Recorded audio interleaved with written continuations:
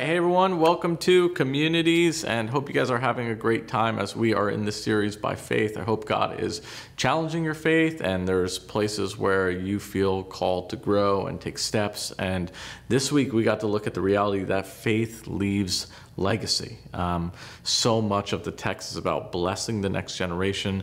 So much of the text is about walking in obedience for your children, uh, blessing your grandchildren, your ultimate hope of heaven. And here really is just the big question um, Are you living for a legacy that honors the Lord? How is the folks in your life that God's entrusted to you, how are they seeing the gospel show up in your life? Um, how ultimately is their life different because you're investing in them? Life is full of tests, life is full of difficulty, life is full of trial.